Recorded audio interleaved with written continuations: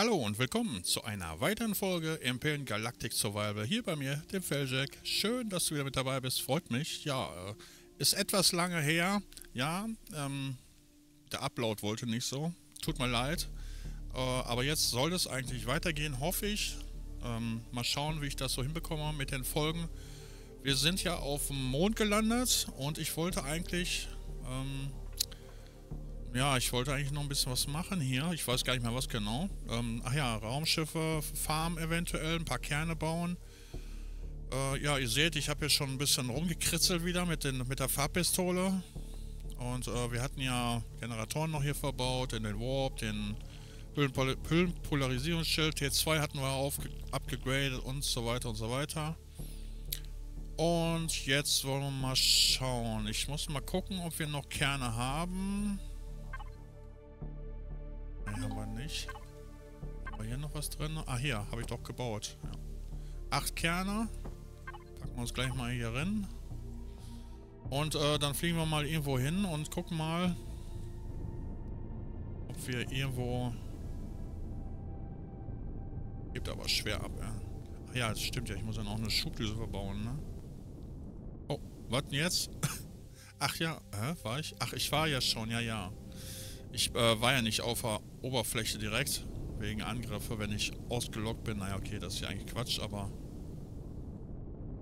So, ich soll erstmal wieder ein bisschen klarkommen hier. Lange nicht gespielt. Diesmal auch wieder ein bisschen mit Webcam. Scheiß Drohne. Ja, stimmt. Ja, hatte mein Moderator, der Luna, hatte mir hatte mich darauf hingewiesen in den Kommentaren unter meinen Videos, dass wenn man die äh, Cirex-Drohnen angreift, dass man Minusruf kriegt bei der Handelsgilde. Na, natürlich ein bisschen dumm, ne? Aber gut, was willst du machen? Und mal gucken, was wir hier alles haben. Dann ist auf jeden Fall ein Fragezeichen noch. Meiste sind nur Ressourcen. Sind hier auch am Rand.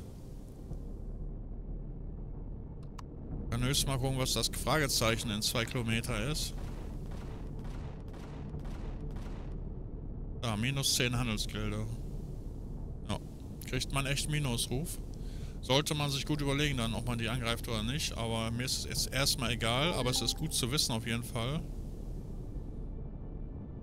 Ja, wir brauchen noch zwei Geschütze auf jeden Fall. Ach, ist nur so ein... Ja, ja, ist nichts. Ist nur so ein komischer Turm. Ich glaube, sonst lohnt sich das hier nicht weiter. Ja, wir können dann eigentlich mal den großen Sprung wagen ins nächste Sonnensystem. Weil wir brauchen ja immer noch einen geeigneten Heimatplaneten, wo ich mich dann niederlasse. Hm. Kolonisten, Ausgrabungsstätte, ja, das nützt mir auch nichts. Hier sehen nur die Kolonisten. Egal, dann hauen wir hier ab. Werden wir wohl woanders auch noch was finden, denke ich. Komm mal hier aus dem Schweiß. Ganz schön fetter Pott geworden, mein, mein Farmschiff hier.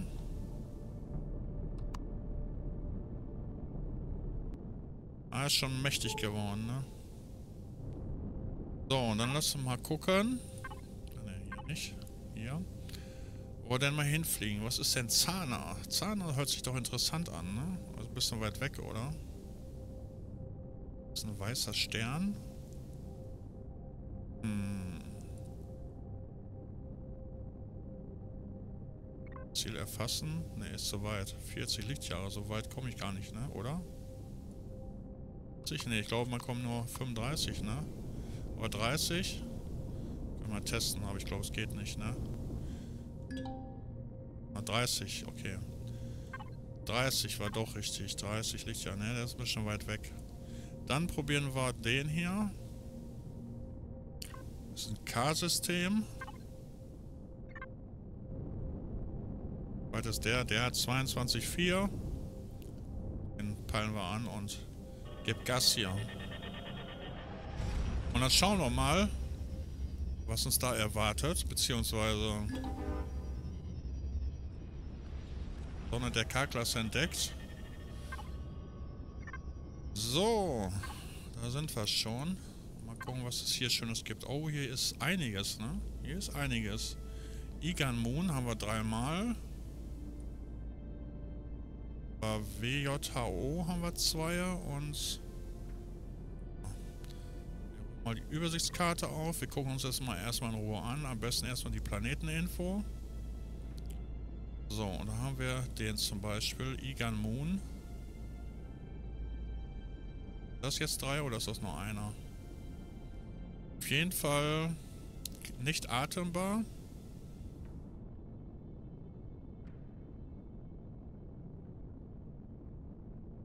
Sonst hier Schwerkraft 0. Nichts Besonderes. Was ist das hier? Ist auch nicht atembar. War Titan aber drauf. Eisen und das übliche. Und was haben wir? Neodym? Ne, Satium. Satium ist hier drauf. Aber hier. Alle nicht atembar. Ein atembarer wäre schon gut. Der ist auch nicht atembar. Und der hier ist auch nicht atembar. Was ist das hier für ein Ding? Auch nicht atembar. Okay, ja, das bringt nichts. Also für einen Heimatplaneten sollten wir schon irgendwie, dass wir atmen können. Wenn gehen wir mal auf tu, tu, wie heißt der? Tubena. Ein M-System. Habe ich den jetzt nicht ausgewählt? Ach, wo ist denn der Marker? Da. Zwei Lichtjahre weiter. Jetzt geht die Sucherei nämlich erstmal los, den geeigneten Heimatplaneten für, für mich zu entdecken. Sonne der M-Klasse entdeckt. Und schauen wir hier mal rein. Haben wir Zweier und Gamma. Atembar nein. Nein. Nein. Nein, nein und nein. ja, das war auch ein Satz mit X hier. Okay, kein A und kein M. Ein F vielleicht. Kommen wir da hin? Was ist jetzt zu weit? Ne, ist zu weit. Mist. Jetzt hier löschen. F. Hier ist noch ein F. Ist auch zu weit. Ist alles zu weit.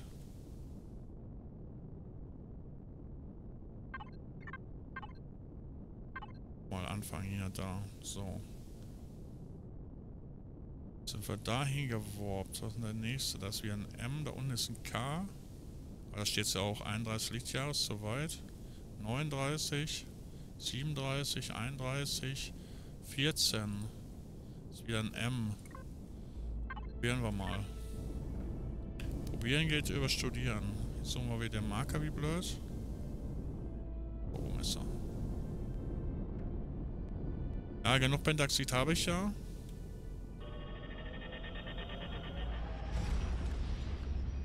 Das große Warpen hier los.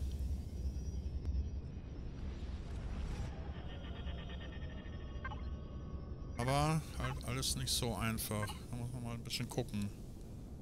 Hier haben wir einen. Ist auch nicht atembar.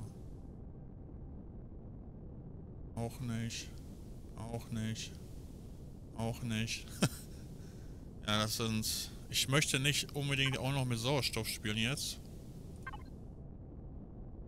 Ist auch ein M. Ja, hier, da ist ein K. Größer unter uns.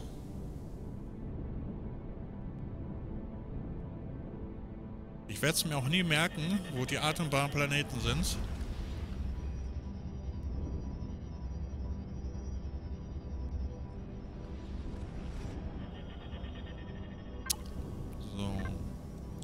Schauen wir hier mal. Was haben wir hier Feines? Alle nicht atembar, die Dinger.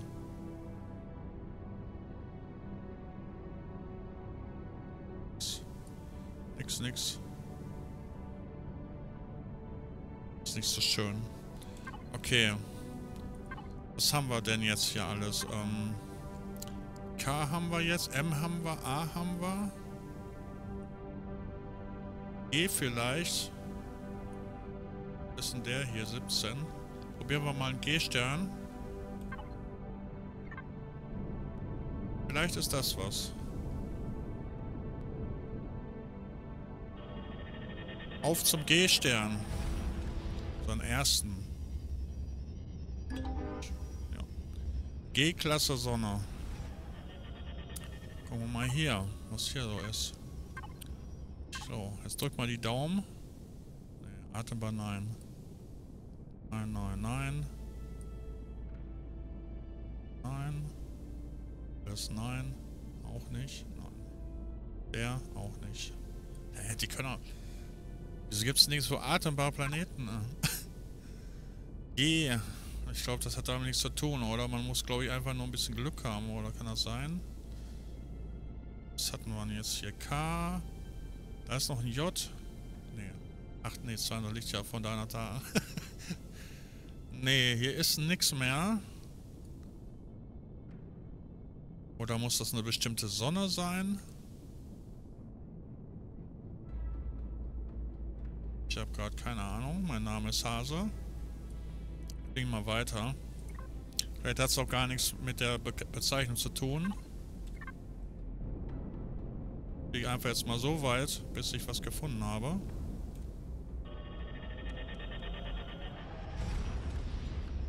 Muss ja irgendwo was Vernünftiges sein. Das G-Klasse Sonne entdeckt hatten wir doch schon, oder? Hab auch keinen Token gekriegt. Nein.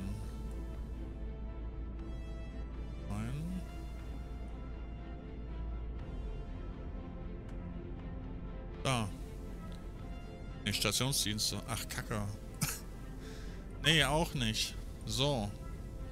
Ja, wo fliegen wir dann mal hin? Was haben wir hier noch? F, M, M, M, M, E, M. High Security hier. Und Nutria. Was ist denn High Security?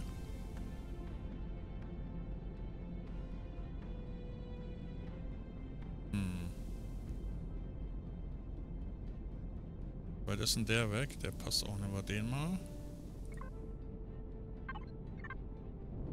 Oder kann man das vielleicht schon eher sehen? Ich weiß das gar nicht mehr.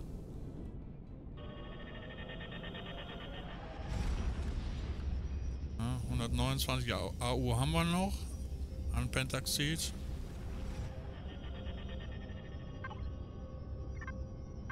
So, nächste, nächste Glück hier. Nein, nein, nein. Das kann da alles in eine Tonne kloppen, ne? Nein, nein. Okay, also ich weiß es nicht, mal eben. Ich habe keine Ahnung, wo ich hin soll.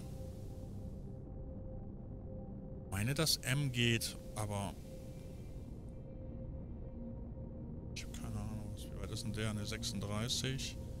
Was? 0? Ne, hier. 34. 39. 27. Hier mal hin. Äh, Marker, Marker, Marker. Wo ist der Marker unter mir? Den Wald vor lauter Bäumen, mein Lieben. Den Wald vor lauter Bäumen. Das wird die Suchfolge hier. Was soll ich machen?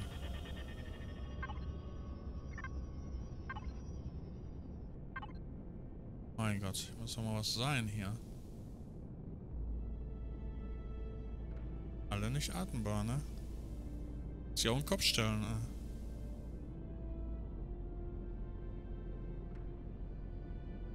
Alle nicht atembar.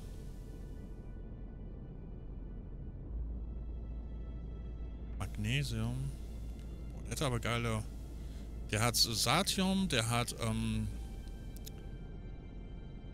Äh, sag mal schnell, äh, Zarkosium und Titan noch. Schon krass, äh. Aber nützt uns auch nichts. Also, ich weiß es nicht. Hier nochmal ein F. Nehmen wir den nochmal. Und wenn ich dann nicht finde, dann werde ich erstmal cutten oder so. Und suche dann so lange, bis ich was gefunden habe. Beziehungsweise bis mir das Pentaxid ausgeht. 96 AU noch. Erste Mal Sonne der F-Klasse entdeckt. Komm, drück die Daumen. Nein. Nein, nein, nein. Nein, die sind alle nicht atmbar. Immer nein.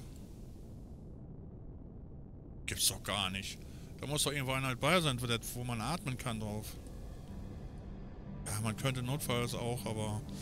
Nee, ich suche noch ein bisschen. Ich werde mal hier einen Cut machen und wir sehen uns dann gleich wieder, wenn ich dann was gefunden habe. Bis gleich. So, meine Lieben. Ich habe gerade was gesehen, dass das gar nicht auswählbar ist mehr. Warum? Hä? Man kann das gar nicht auswählen mehr. Habe ich irgendwas verpasst? Ja, vielleicht waren doch schon Atembare dabei und ich habe es nicht gesehen. Weil er stand die ganze Zeit hier drauf, anstatt auf Planeteninfo. Ach, kann man diese Planeteninfo von hier nicht mehr sehen? Hä, das muss doch gehen, oder nicht? Na gut, dann werden wir jetzt mal folgendes machen. Wir werden uns mal einen raussuchen hier. Was haben wir denn hier drauf? Magnesium wieder? Ne, Eisen. Aber hier ist Pentaxid, Titan. Ja, Moment immer ran hier. Aber es nee, ist ganz normal hier. Kupfer und so weiter. Der hat schön viel hier. Hat der denn hier noch? Kobalt, Neodym, Promethium, Satium, Titan. Titan! Da werden wir hier mal hin. Obwohl, ach jetzt... Nee, jetzt Ach, man muss dann immer... Ach, geht doch. Ach, man muss den erst... Ja, habe ich doch ausge... Hä? Ich bin da, Ach, ich bin da mit der Maus darüber gegangen, ne? Muss man die erst anklicken? Ah. ja, aber die ganze Zeit umsonst gesucht. Man muss die erstmal anklicken. Atembar ja. Atembar nein. Aber der hat viele Ärzte. Dann fliegen wir mal nach Wut... Ich ver vergiss es. wir fliegen jetzt einfach nach Wuto. Wuto irgendwas. So. So. So. Dann gucken wir uns das Ding mal an, was das für einer ist.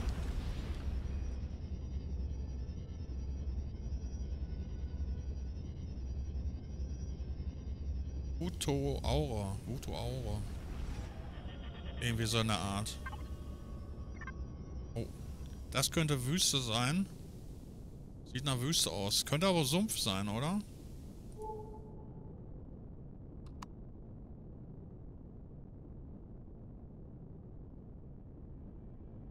Was hat denn der hier drin?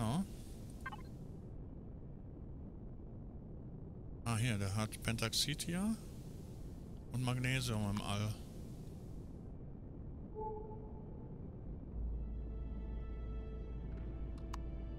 Ja, was könnte das sein? Oder ist das ein... Ja, weil der so rot ist, ne? Kann man schlecht sehen. Wüste kann ich mir nicht vorstellen. Atembare Wüste gibt's doch gar nicht, oder? Naja, wir werden es ja gleich sehen, was es ist. Aber ich tippe auf Urwald oder Sumpf oder sowas.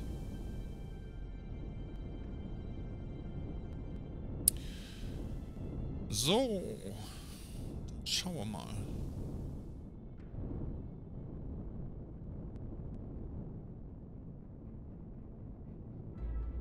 Wir in der Wüste aus. Was ist das jetzt wirklich? Weckermarker. Arid. Ist doch ein Wüster. Atembarer Wüstenplanet?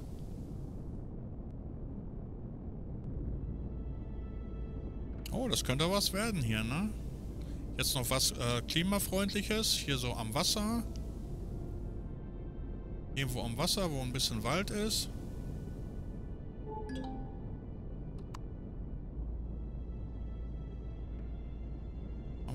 Ressourcen, Ressourcen, alles Ressourcen. Testen uns mal gleich hier. Landen mal hier.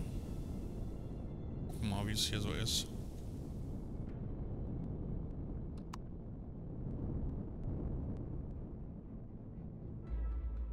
So, Schiff steht still.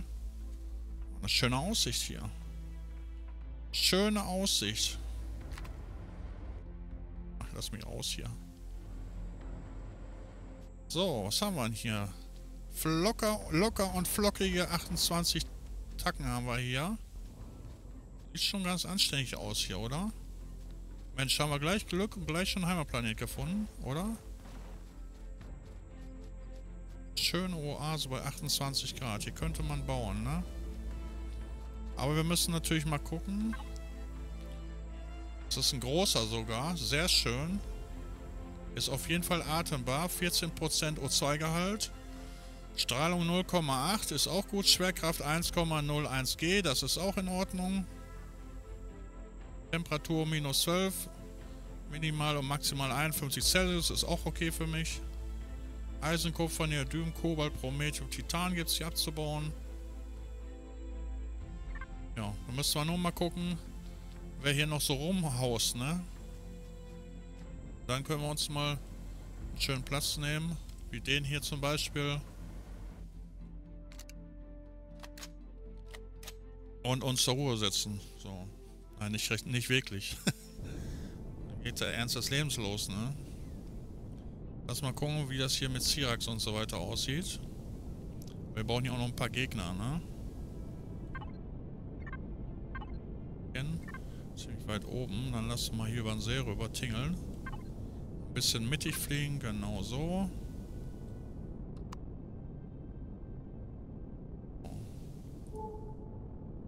Dann gucken wir mal, was der so zu bieten hat. Da haben wir nochmal 1, 2, 3, 4 Fragezeichen, 5 Fragezeichen auf der Seite. Dann checken wir die als erstes schon mal. So wie es aussieht, haben wir unseren Planeten gefunden. Wenn jetzt noch anständig äh, Feindbestückung hier drauf ist, damit wir auch was attacken können hier. Bei uns sind Silos oder sowas.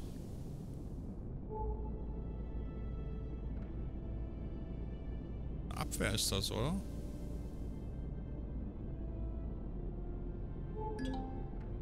Old Farm ist das. Warum ist das rot?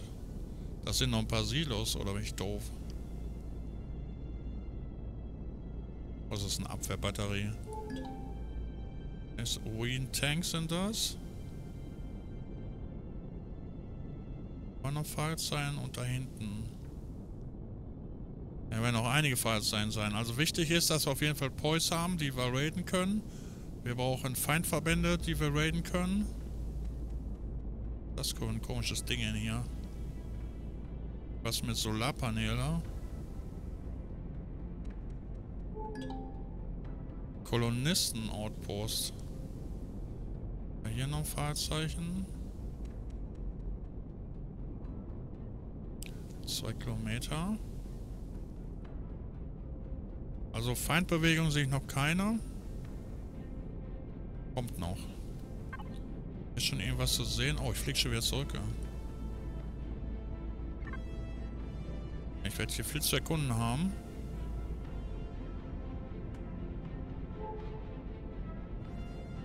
Auch so eine Art Silos. Ja, es ist wieder selber, ne? Wir Tanks. Hm. Wir folgen einfach mal den Fragezeichen so ein bisschen. Da ist einer näher dran. Würde ich sagen, ne? Dass wir erstmal diesen Fragezeichen hier folgen. Dann gucken wir den nochmal schnell nach.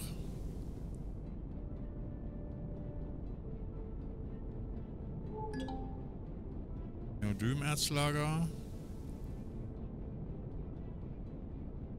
Da sollten wir uns dann auch ähm, Bergbaukerne besorgen, dass wir die, äh, die Sammler hier hinstellen können. Ancient Shelter. Tja, das war auch nix. Irgendwo schon Feindgebiet oder sowas? Nee, ne? Mal lass mal... Ne, da ist das nächste. Aber meine Lieben, ich mache erstmal Folgenende. Schön, dass ihr mit dabei wart. Lasst mir einen Daumen nach oben da. Abo, Abo-Glocke. Würde ich mich sehr darüber freuen. Wir sehen uns dann in einer weiteren Folge. Bis nächstes Mal. Tschüss.